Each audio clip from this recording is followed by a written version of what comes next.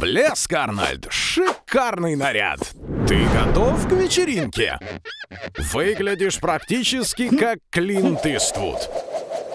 Это будет крутое приключение, я тебе обещаю. Оу, кажется, здесь все одеты как ковбои. Но ты не первый, кто скопировал этот образ. Сами ковбои — это копия испанских ковбоев, которых называли вакерос. Они появились задолго до американских. На самом деле, каждый третий из ковбоев был чернокожим, а каждый четвертый — индейцем. И говорили они в основном по-испански, а не по-английски. Краткое введение, Арнольд. Ты действительно сейчас на самом настоящем Диком Западе. И он называется Диким не просто так, приятель. И нигде это прозвище не воплощено больше, чем здесь, в Форт Гриффине, штат Техас. Этот форт изначально проектировался для защиты владельцев ранчо. Город стал популярным местом остановки для ковбоев и преступников. Правоохранительные органы здесь практически перестали существовать. В результате город стал еще более суровым. И похоже, что ты уже стал шерифом этого города. Сочувствую. Мне одному кажется, что в этом городе не очень-то любят шерифов. Арнольд, ты решил первым делом обновить свой гардероб на новой должности? Средняя продолжительность жизни на Диком Западе была в среднем 35 лет, а у шерифов она сокращалась в геометрической прогрессии. А вот и твое первое доброе дело, шериф. А ты думал, что только ковбои ходят с оружием? Фактически, ковбои были безобидными пастухами. Людей с оружием называли ганфайтеры, и они зарабатывали себе на жизнь именно оружием. Самым легендарным стрелком Дикого Запада был бешеный Билли Лонгли. Он убил, по разным данным, около 85 человек, а за его голову была объявлена награда в одну тысячу долларов. Хорошо, что люди тогда не отличались меткостью. Кстати, именно эпоха Дикого Запада зародила в Америке культуру держать дома оружие. Арнольд, послушай, такая музыка точно не к добру. Обычно в вестернах она означала, что в город въехали бандиты, чтобы ограбить банк. Это же грязный Гарри, одноухий Том и красавчик Билл. Почему тогда давали такие очевидные клички всем?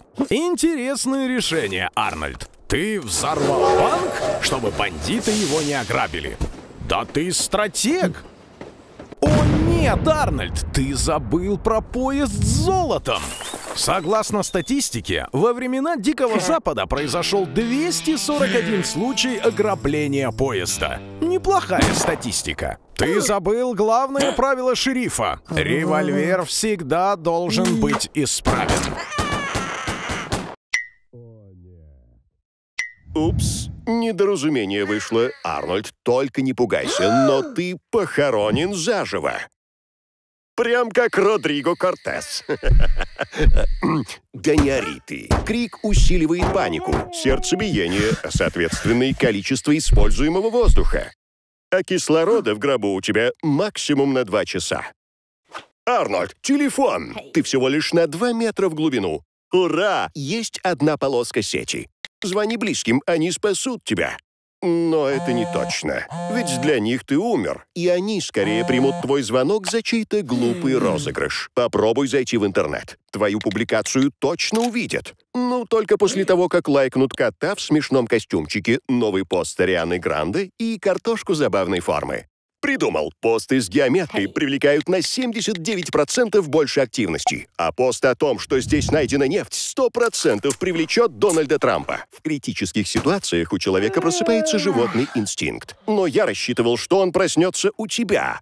Арнольд, при недостатке кислорода люди часто видят галлюцинации. Может, загуглим, что делать? Не забивай гвоздь на своей жизни, будто это крышка гроба. Выйди из зоны комфорта. Никак.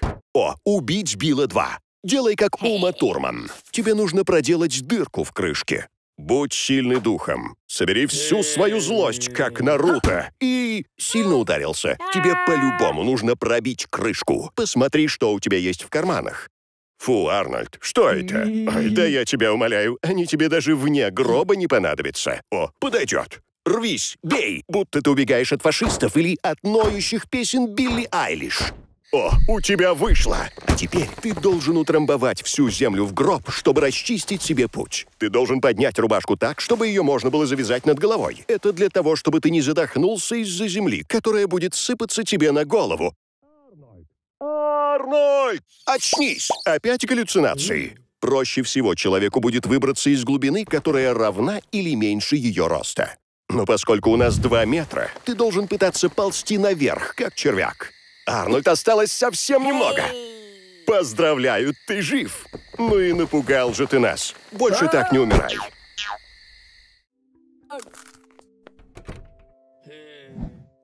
Это все было только ради пончиков? Ах ты засранец. Ну ничего, сегодня у тебя будет возможность совершить реально доброе дело. Вся планета заражена диареей вирусом из Китая. Но я сделал твою кровь единственной существующей вакциной. В мире 7 миллиардов человек, и все охотятся за тобой. 195 государств разместило твое фото во всех средствах массовой информации. В базах полиции и не только. Тобой займутся лучшие спецподразделения мира. Ми-6 – разведка Великобритании, которая работает круглосуточно уже сто лет. ISI – пакистанская межведомственная разведка с самой многочисленной резидентурой в мире – 10 тысяч агентов. ЦРУ Осторожно, Арни, они используют пытки. Канадская служба разведки с бюджетом на поиск свыше 507 миллионов долларов. Как ты думаешь, тебе удастся скрыться? Ты в каждом мобильном в соцсетях. Кажется, ты стал популярнее, чем Грета Тунберг. Уверен, она завидует тебе сейчас, ведь ты можешь реально помочь человечеству. Просто отдай им свою кровь. Всю. До последней капли. За тобой уже отправили элитный спецназ всех стран. Морские котики. Французские жижин. Китайские снежные барсы. Ну, конечно, схватить тебя сможет любой школьник. Большой брат следит за тобой. Только в Нью-Йорке около 20 тысяч камер видеонаблюдения. Они делают фото, сверяют дистанцию между главными точками на лице – нос, глаза, рот. Данные конвертируются в нумерический код человека, отпечаток лица, и сверяются с базой. Кроме того, в Даркнете любой может купить базы изображений с видеокамер кафе, больниц, торговых центров, даже рядом со зданием ФБР. А значит, узнать, где ты был еще пять минут назад. Лови. Чтобы спрятать лицо от камер, используй очки со встроенными инфракрасными светодиодами. Для камер твое лицо будет выглядеть как светящееся слепое пятно. Погоди радоваться, ты забыл к ним батарею. Этого мало. Тебе нужна маскировка. Не нужно было жрать столько пончиков. Они спровоцировали излишнее скопление газов. Дай волю ветрам. Выглядишь отлично. Но поисковые собаки найдут тебя по запаху масляной кислоты, пахучему компоненту твоего пота. Не поможет. Достаточно одного грамма пота, чтобы собака учуяла тебя на крыше вон того десятиэтажного здания или на глубине 15 футов под бетоном. Только в США почти 7 миллионов беспилотников. Хватит махать руками. Возьми специальное оружие против дронов. Эта пушка стреляет широким потоком электромагнитного излучения, так что тебе не обязательно прицеливаться. Достаточно, чтобы поток помех накрыл дрон, и тогда он утратит связь с базой и потеряет управление. Что ты натворил? Затеряйся в толпе, придурок!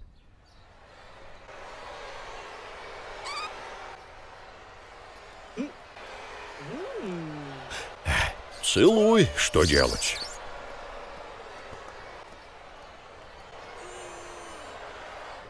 Есть последнее желание.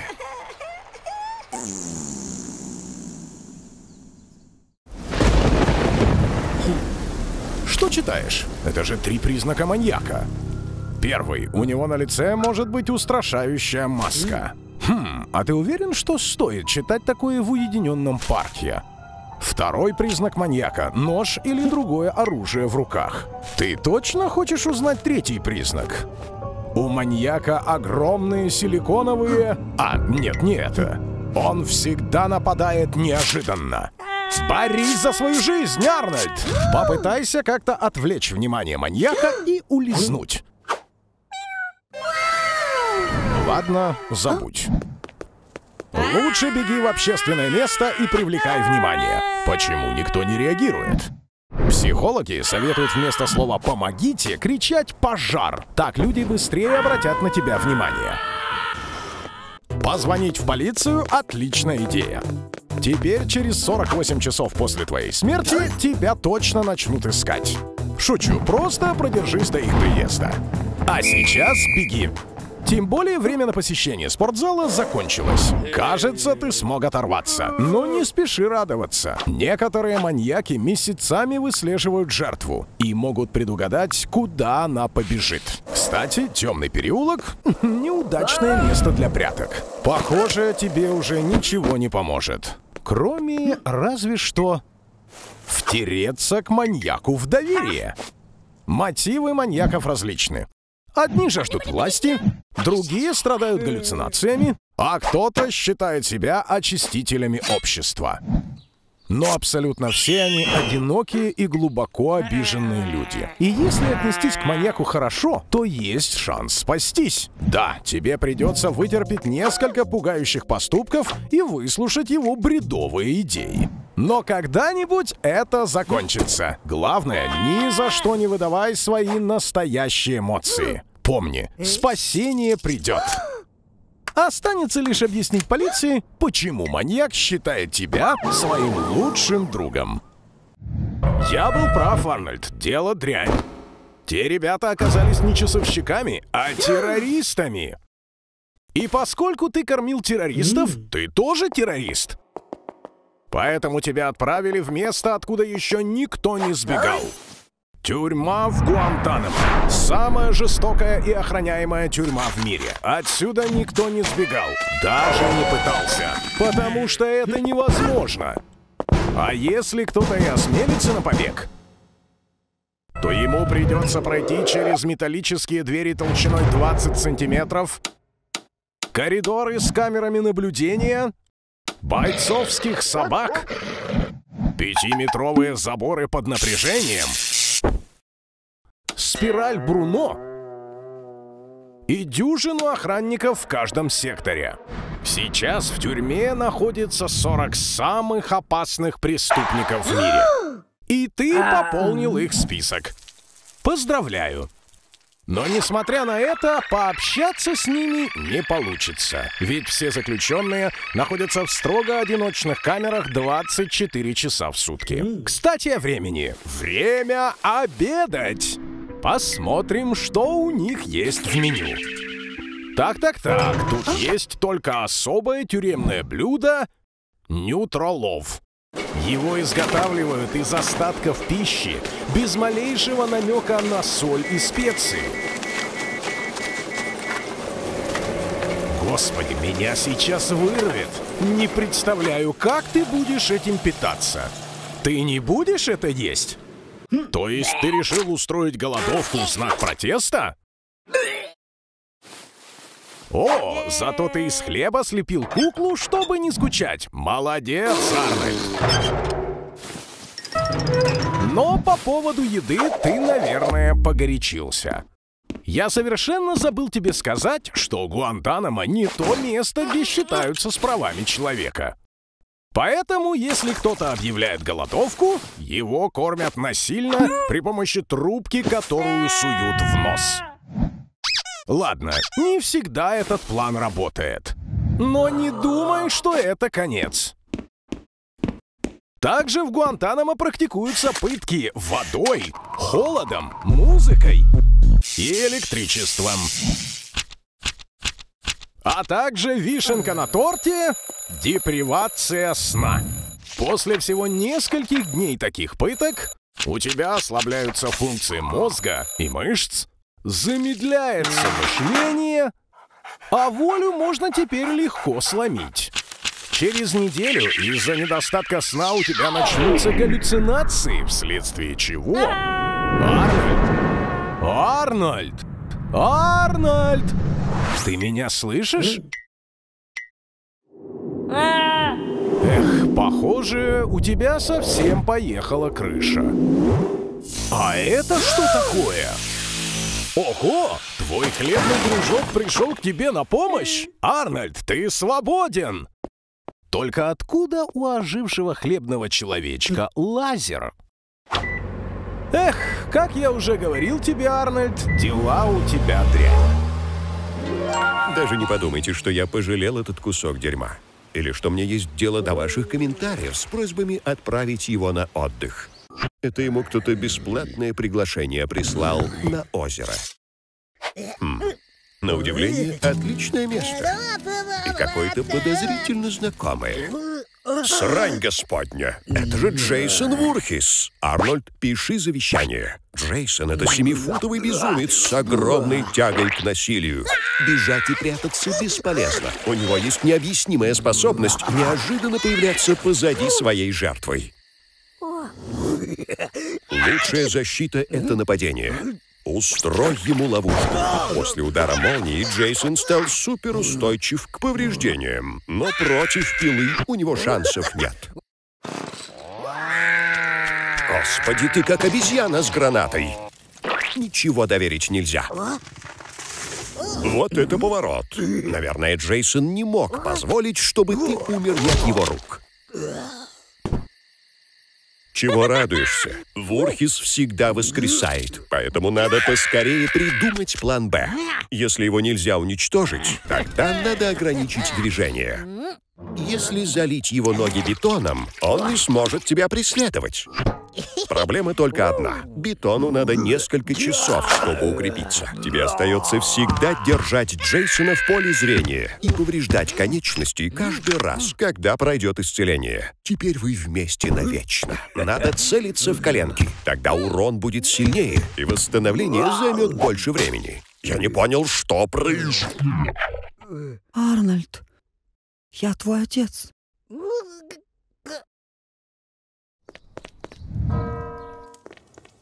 А тут довольно жутко. Эй, кто выключил свет? Арнольд, лучше ничего не трогай. Что происходит? Беги, Арнольд! Матерь Божья, похоже, мы оказались в 13 веке. Прямо во времена священной инквизиции. Вот это крутая экскурсия. Основной задачей инквизиции была борьба с еретиками. Эй, Арнольд, а тебя-то за что? Кажется, я понял. Они приняли телефон за орудие черной магии. Инквизиция плохо ладит с прогрессом. Когда Галилей доказал, что Земля вращается вокруг Солнца, это тоже противоречило католическим представлениям. Арнольд, тебе не повезло. В те времена всех рыжих подозревали в связях с дьяволом. Успокойся. Сначала тебя просто допросят. Присаживайся. Здешние стулья специально сделаны из железа, чтобы их можно было нагреть. Обычно признания добивались с помощью пыток. Тебе нужно отказаться от ереси, Арнольд. Во времена Инквизиции было много язычников. Их обряды принимали за черную магию. Язычников старались обратить в католичество. Ну же, Арнольд, прими католичество, и ты свободен. Это правда. Инквизиция иногда отпускала раскаявшихся. Святые угодники, что опять? Похоже, что на тебя кто-то донес. Люди часто обвиняли в ереси друг друга, чтобы устранить своего врага или конкурента. Не знаю, вынесешь ли ты новые пытки. Познакомься, Арнольд. Испанский сапог. Вилка еретика. Колыбель Иуды. Арнольд, я все-таки советую тебе признаться во всем. Вот так, распишись, что являешься магом-некромантом и гномом. Но есть и плюсы. Пытки закончились. А Инквизиция на самом деле не казнила людей. После признания преступнику выносили приговор в государственном суде. Спокойно, Арни, никто не будет тебя сжигать. По закону тебе всего лишь отрубят голову. Мы закуем тебя в наручники, а гроб будет металлическим. Готов? Полезай! За прошлое погребение Арни научился главному правилу. Дышать стоит спокойно и глубоко, чтобы беречь кислород. Хватит отдыхать, нужно избавиться от наручников. Достаточно сломать себе по одному пальцу на каждой руке, чтобы кисть вылезла из кольца. Не хнычь, Арни, у тебя останется еще по два пальца. Используй ремень или часы и попробуй пробить трещину в крышке. Металлический гроб имеет слабые места по контуру. Да ладно, я прикалываюсь, Арни. Тебе не сломать металл. Над тобой 2 метра земли, которая давит весом почти в 2,5 тонны. Так что третье погребение станет последним. Арни! Арни! Арни, где ты? Ах ты ж маленький засранец! Да ты Гудини, Арнольд! Он также пробирался в секретное отделение, а потом через люк в полуметре от земли выползал наружу. Вот только где люк, Арни? Сюрприз! Ты же не думал, что я позволю тебе так просто выбраться? Плыви наверх, Арни, пока бетон не застыл. О да, я забыл сказать. Незастывший бетон при взаимодействии с водой образует щелочные молекулы. В твоей коже много влаги. Так что будет больно. Поздравляю, ты справился!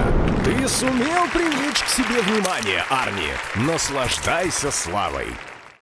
У нас тут вечеринка в стиле Among Us. Это популярная игра. Количество игроков перевалило за 500 миллионов. А это больше, чем население левого полушария. Больше, чем у любой другой игры в истории. При этом 97% игроков играли в бесплатную версию для мобильных устройств. Но большую часть дохода для разработчиков генерировала платная версия для персональных компьютеров. Я не зря выбрал коричневый цвет. Ведь этот цвет выбрасывают за борт реже всего, а вот черный выбрасывают чаще всего. Более 90% случаев. И это как раз твой цвет, Арнольд. Игра началась. Здесь главное действовать быстро. Ведь в любое время могут... А вот и первое убийство. Не переживай, тут много детективов. Они сразу разберутся, что ты не убийца. Упс, по-моему, тебя подставили. Пора смываться, пока тебя не выкинули в космос. В игре нужно выполнять задания, чтобы дать понять остальным игрокам, что ты не убийца. Упс, этот отсек уже занят. Не будем мешать этой парочке. Появилось задание. Тебе нужно потушить возгорание в электроприборном отсеке. Кажется, получилось. Тебе поверили. Быстрее помоги игроку. Кажется, я видел огнетушитель. А вот кто-то серьезно подготовился, чтобы тебя подставить. Тем более, что по статистике отсек электроприборов и админка — самые-самые опасные места. Раз уж ты предатель, тебе нужно взорвать двигатель и выиграть игру. У тебя не получается. Это круто, Арнольд. Значит, ты не настоящий предатель. Поздравляю. Берегись. Поздравляю, Арнольд! Ты стал добровольцем для испытания пули непробиваемой кожи. Вау! Ты еще жив, Супермен? Значит, опыт прошел успешно. Кажется, эти ребята довольны. И хотят повысить ставки. Этот гранатомет выпускает гранату из ствола со скоростью 120 метров в секунду. Ее взрыв пробивает 50 сантиметров стальной брони. Тут нужна кожа посерьезней. Например, из фуллерена. Это самый прочный материал известной науки — аллотроп углерода. И он в 200 раз крепче самой прочной стали. Поздравляю! Твоя кожа из фуллерена смогла выдержать выстрел из РПГ. Чего, конечно, не скажешь о твоем мозге. Ударная волна превратила его в желе. Но, к счастью, ты в суперсекретной лаборатории. Правильно, Арнольд, идеальное время для побега. Ведь теперь никакое автоматическое оружие не может нанести тебе никакого урона. Тебя невозможно задушить или даже сбить на машине. Но сил у тебя у Клипика-то не добавилось. Зато для Жу появились настоящие стальные нервы. Но проблема в том, Арнольд, что тебе придется до конца жизни скрываться, чтобы никто не узнал, что твоя кожа... Стоп, что? Да, Арни, вижу, ты на все готов ради лайков. Ну, делай как знаешь. И сегодня мы узнаем, кто прочнее. Арнольд или РПГ. Что ж, РПГ оказалось прочнее. Спасибо за просмотр, не забывайте подписываться. Погодите. Арнольд, поздравляю! Ты умер и попал в рай. Занимай место в очереди и жди, когда апостол Петр пустит тебя внутрь. Юху! Как же тут круто! Вау! Смотри, это же Джон Леннон! А нет, это всего лишь Иисус. Тут даже есть стена с портретами Бога в представлении различных людей. В древние времена люди считали, что Бог страшен и кровожаден. Например, ацтекскому богу Уицелопочтли постоянно приносили жертвы в ожидании дождя. А древнегреческие боги олицетворяли человеческие качества или явления природы. К сожалению, в христианском раю, в отличие от мусульманского, у тебя не будет 72 девственниц. Зато тут есть Джон Леннон! Или это снова Иисус? Смотри, вот он, Арнольд! У него множество имен. Создатель, Егова, Адонай, Бог. Оу, щит, он спит. Наверное, ему не стоит мешать, Арнольд. Что ты задумал? Тебе туда нельзя. Это пульт управления миром. Ничего не трогай, ситуация и так не самая лучшая. За последние века уровень религии в мире упал. И у Бога, как у самого популярного создания в мире, появилось много хейтеров. Не вздумай играть в Бога, Арнольд. Человек слишком алчен для этой роли. В истории были подобные примеры, и все они плохо кончили. Арнольд, остановись! Это не шутки! Отлично! Теперь все выходит из-под контроля. Фанатичная вера всегда приводила к войнам. А теперь началась крестово-ядерная война. Арнольд, остановись, пока еще не поздно. Ты меня слышишь? Фух, Всевышний, не сочтите залезть, но слава богу, вы тут. Арнольд, кажется, тебе конец. Вставай, ленивая жопа! У меня есть кое-что для тебя. Тебе осталось жить 24 часа.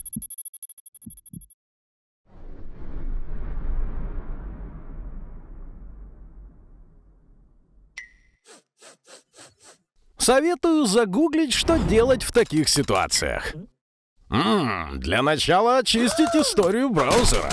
А вот топ-3 ответа на вопрос, как бы вы провели последний день жизни. С близкими. Думаю, Арнольд, это не твой случай. Второй вариант — наесться до отвала вредной еды. Ну, этим ты занимаешься каждый день.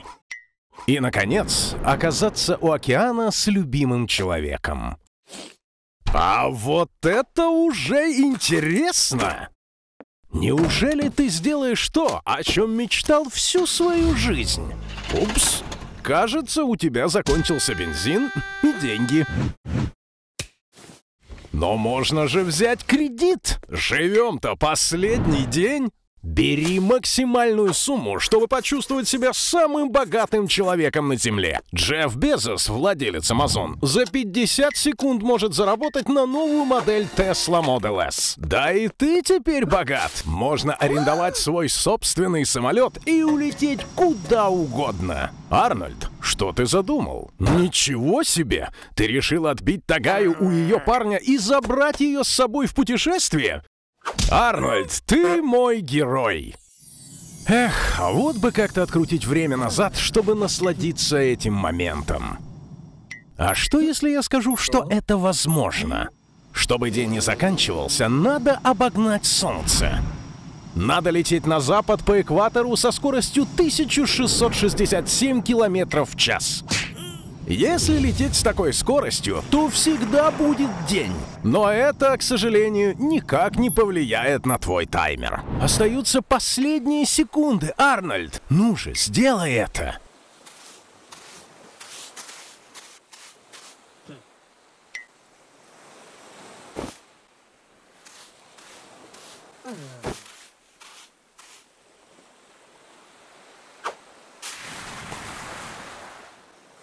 Арнольд, ты жив? Понятно. По договору у тебя нет права умирать, пока не заплатишь кредит. Пока, Арнольд.